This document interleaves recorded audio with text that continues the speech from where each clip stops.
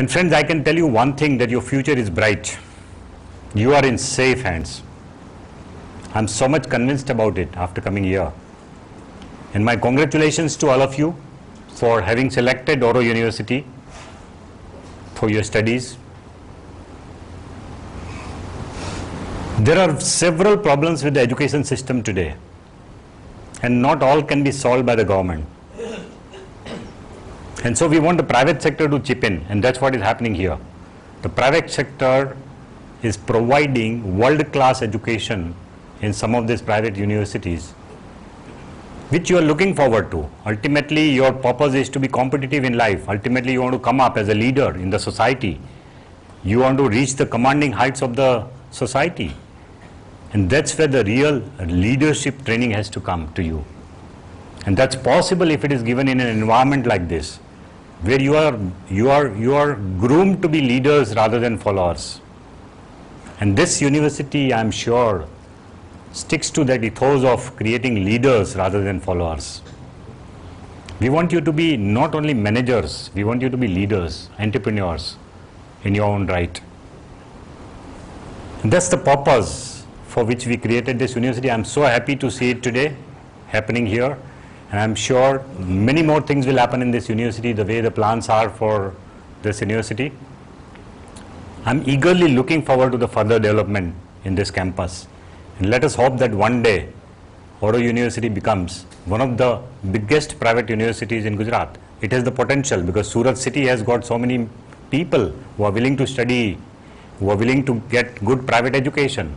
So this university can actually come out as one of the biggest private universities in Gujarat. And I'm sure that will happen very soon.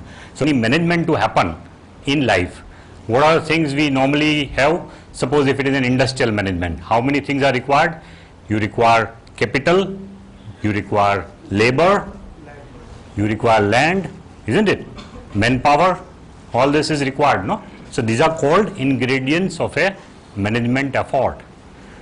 Talking of life management, there are certain ingredients. And what could that be?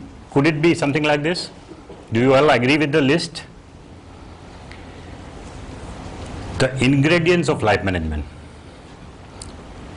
My experience of 30 years tells me that probably we need to focus on these four things in life if you have to really learn life management properly. So the first and the foremost thing for life management is what? Goal setting. Are you all with me on this? Any disagreement on this, on goal setting? Do you think goal setting is the first and foremost principle of life management? Foremost requirement of a life management? Do you think so? Are you all convinced about it? Please tell me only if you are convinced. Okay? So goal setting is something which is very important for life management. And we need to do that properly. And that's why one of the major ingredients of life management is goal setting.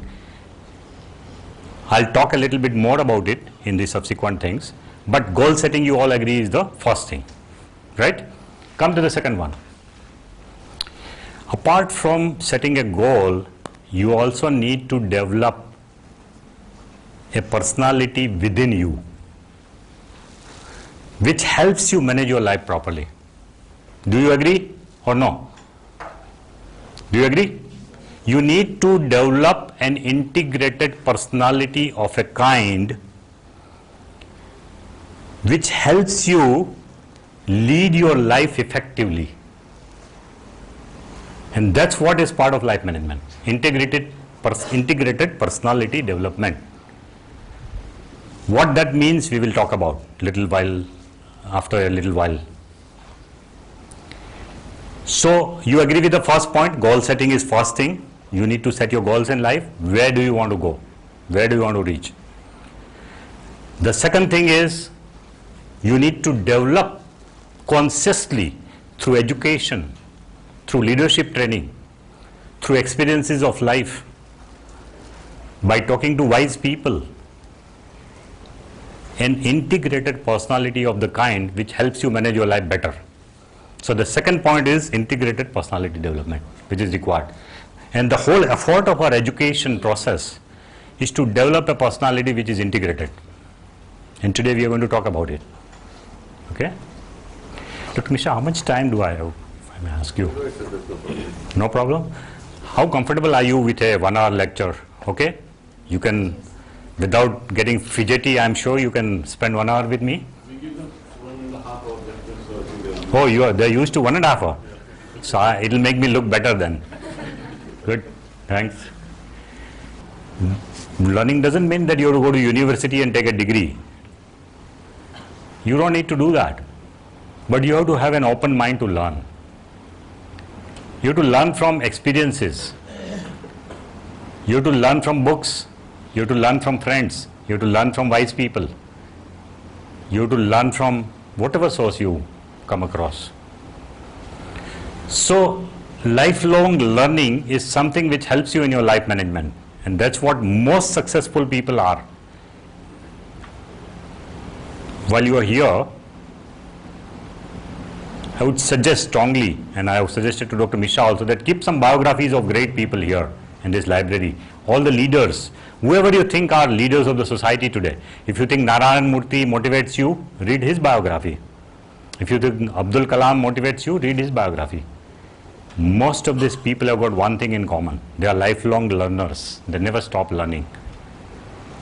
So, learning, managing your learning quotient, always keeping it high, is something which you should keep doing in life management. So, that's one of the four things. Out of these four topics, I'll touch upon only the first two. I am not going to talk about the third and the fourth topic, okay? Is that okay with you? You can cover the rest of the two topics in some other session, specially made for you know.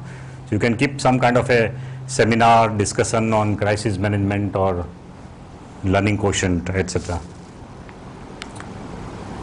What is goal setting?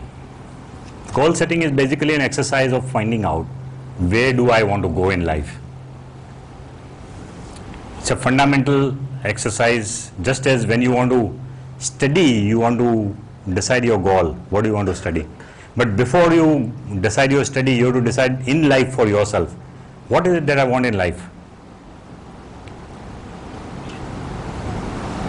It's an exercise of introspection by yourself. You have to sit down sometime in life, think through, meditate,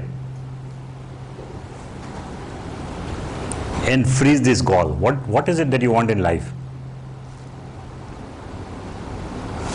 And most people are confused here. And the confusion is because of the definition of success and happiness. We compare success with happiness and happiness with success. That's where the maximum confusion comes. The two are not synonymous, please understand. The two are not synonymous, as some of you have pointed out. Success in life may be there, but your life can be disastrous. Your life can be full of disasters. So the success and happiness has to be distinguished while setting your goals.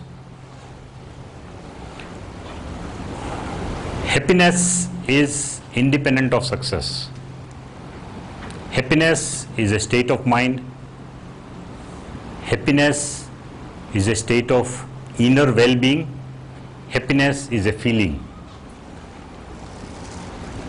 Most of the time, the feeling of happiness comes when there is a success. Most of the time. But it, it needs to be delinked in case if you really want to manage your life properly. And the day you are able to distinguish between success and happiness, you would be the happiest person in the world. Because then there is no misery in life. There is no misery in life after that. Do you agree or no? Or you don't agree? Success and happiness have to be delinked. And so you need to understand what is your main goal in life, happiness or success? Happiness can be the prime goal, success can be one of the ways of achieving it. Only one of the ways, right? So you can talk about it. So goal setting may we need to think about this major goal of life and we need to find out how can I reach there. If I want to be successful in life, whether I need to do MBA, BBA, hotel management or whatever, whatever. So this is the way of goal setting that you need to do. Sorry. Life management, now I want to analyze the life management properly. I want to analyze all your goals, four types of goals. There are four types of goals which you can set in life, right? And all these four types of goals are equally important for life management, for happiness in life. So the first goal is physical pursuits. Please uh, concentrate on this. The very important four types of goals in life. The first thing is physical pursuits of life. Like you want to become famous, you want to get wealth, you want to make a very good career, you want a very good physical build-up of the body, you want to look beautiful, you want to look handsome, you want to be the most beautiful person in the world. All these are physical goals, physical pursuits. And 90% of the people are obsessed with physical goals in life. 90% of the people. We all think that this is what is the most important thing in life. And so we go after the physical goals wealth, career, health. We spend so much of time in building our body, building up our body, or so much of time in earning money. And sometime we spend so much of time earning money that it is at the, at the cost of your personal welfare also. You have no time for enjoyment of life also after that. Most people are like that. They work like dogs morning to evening सुबह से शाम तक दौड़ता आदमी। अपनी ही मजार का खुद, अपनी ही लाश का खुद मजार आदमी। खुद की लाश उठाए जा रहा है, इधर से उधर तक। So this kind of a physical pursuit is something which we need to watch against we must remember that yes it is one of the goals we need to have in life